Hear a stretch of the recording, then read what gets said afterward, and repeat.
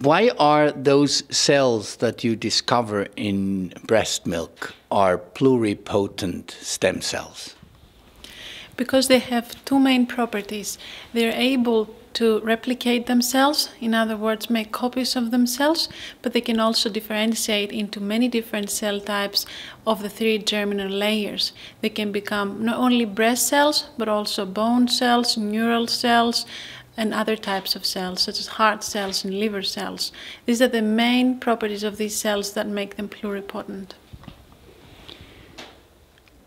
You said that a baby is getting between 10,000 and 13 million cells, um, and that um, they are going into the baby's body. Where are they going? In uh, our mouse study that we've recently completed, we showed that these cells go into the blood circulation and from there they migrate into different organs. And these organs include uh, not only organs such as the liver, pancreas, spleen, kidneys, but also the brain. Uh, and therefore they may provide important developmental benefits. We showed that they go to these organs, they integrate, and they become functional cells. Are they remaining there for a longer time, or are they um, disappearing after two weeks? No, they do not disappear. They stay there, and it looks like they stay there for life because we also investigated adult mice after breastfeeding stopped and into the adulthood of these um, mice, and we found that the stem cells were present in the different organs even in adulthood. Then you spoke about an effect that um, these stem cells could also have a reverse effect on the mother. And you spoke about, for instance, um, breast cancer. Can you quickly elaborate on that? Mm -hmm. uh, we know from previous studies that breastfeeding and breast milk is not just good for the baby, but also for the mother. And there are many important reasons why that's the case. But in this particular um, presentation, I showed that uh, the stem cells in the milk, which reflect the stem cells in the mother's breast, uh, reduce over time during breastfeeding. And therefore, later on in lactation, the mother's breast has fewer stem cells than early on in lactation. They are still there, they have the same properties, but they're probably fewer in numbers.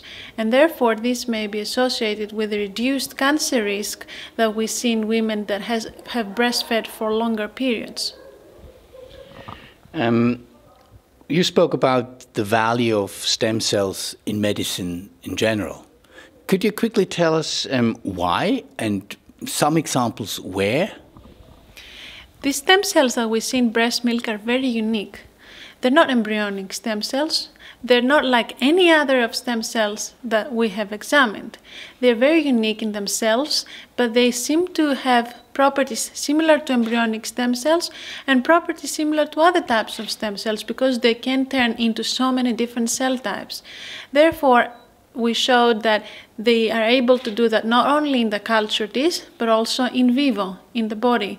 And for this reason, they have a great potential to be used in medicine. Uh, in medicine, in terms of uh, babies that have diseases, but also in terms of adults that have diseases. And that is definitely something we're interested in and we are investigating. And I hope in the future we will learn more about these stem cells and how they can prove to be useful not only for the breastfed baby and also for the mother herself, but also for other people. Now, we had heard a lot about stem cells, new um, information that you gave uh, in this conference, but there was another aspect that was absolutely new to me and many of our audiences probably, that uh, you said in um, human milk we have microRNAs. Now, for us, could you quickly explain what is a microRNA and why is that a spectacular finding? MicroRNAs are small RNA molecules that are able to control genes, the function of our genes. And we know that they are found in uh, our uh, food sources. They are found in plant food that we eat, in animal food, they're pretty much everywhere. And recent studies in the last few years have shown that microRNAs are found in human milk as well. And in my lab, uh, a project done by my student has shown that these uh, microRNAs are actually present in very large numbers in breast milk. They are present in thousands, in the thousands. And we found that many of them are very specific to the breast milk. They're found nowhere else, just in the milk and in the mother's breast. And we know that these microRNAs can control thousands of genes. Therefore, a breastfed baby ingests breast milk that contains stem cells, that contains microRNAs, and potentially other things that we haven't yet discovered that may provide very important and significant benefits for that baby. So I'm looking forward to the research in the next few years, in the next few decades, that will reveal new novel aspects about breast milk feeding and about breastfeeding and how that can be optimized, uh, for example, for preterm babies. So I can only say we are looking forward to further research results. Thank you very much.